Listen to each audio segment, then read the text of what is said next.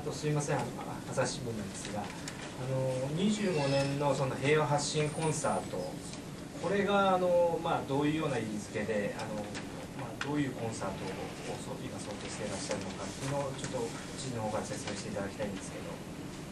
あのまあ、位置づけとしてはあこの平和についてですね、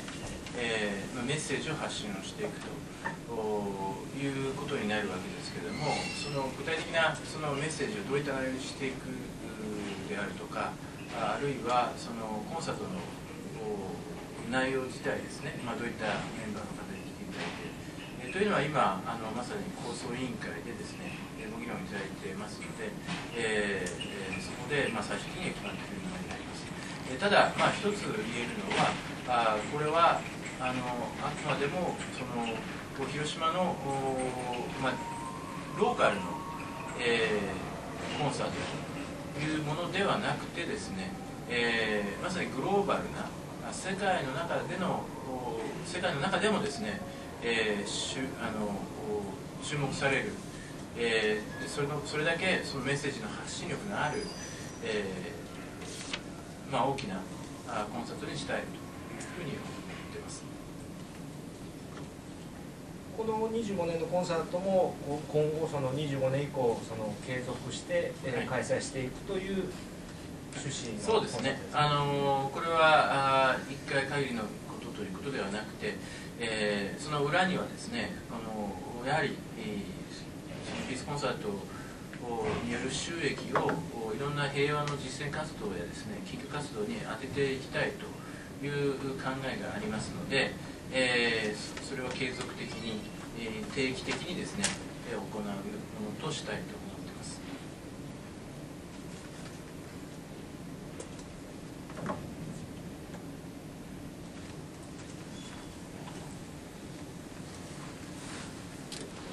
それに関連してなんですけど次年度についてもより発信力を有するプレイベントを行うとこれはどんな形でどんな構想という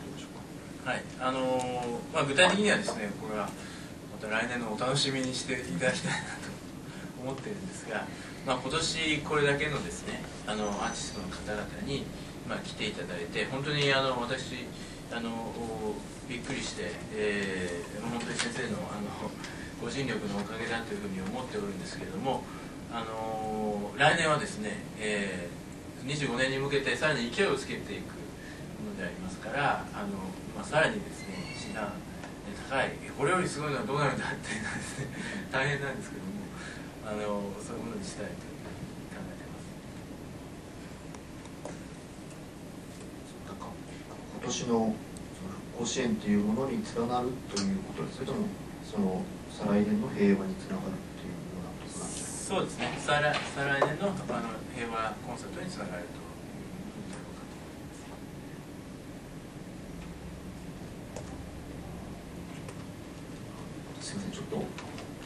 アーティストの方のついてのことだったんですけども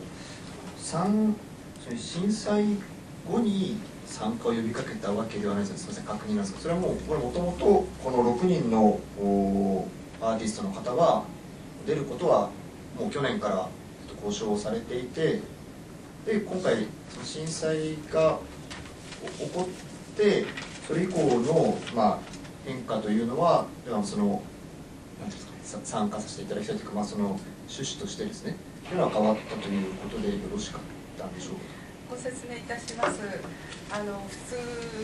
あの著名な演奏家をお招きするときに大体最低1年は前に持って2年普通著名な方はもう2年ぐらい前にお話ししなければ予定が全て詰まってらっしゃいます。ですから去年からあの広島県の非常に熱心なあのご要望に応えましてそして非常にまああの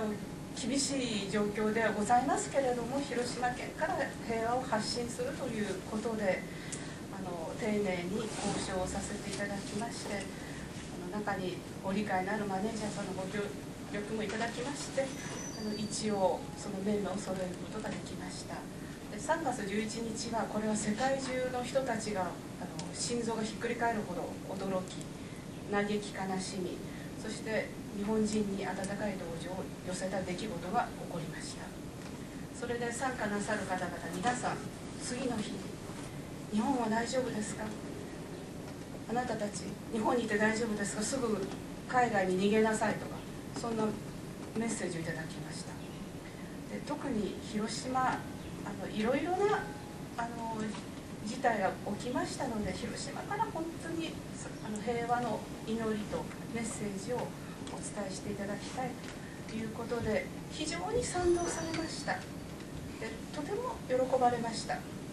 ある方々はこんな事態で本当に演奏会が実現できるんでしょうか。というご心配のご意見をいただきました。しかし知事のご決断によりこれが開催されることになり参加される方皆さん大変お喜びでございます。そしてあの広島県の皆様にもあの感謝したいんですけれども良いことは必ず波及いたします。そして友達はまた友達を作っていきます。ですからどうぞ温かい目で皆様のご支援をお願い申し上げます。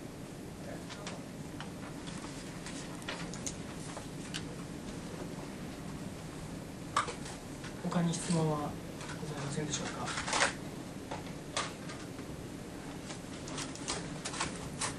ろしいですか？じゃあ以上で記者会見を終わりますありがとうございます。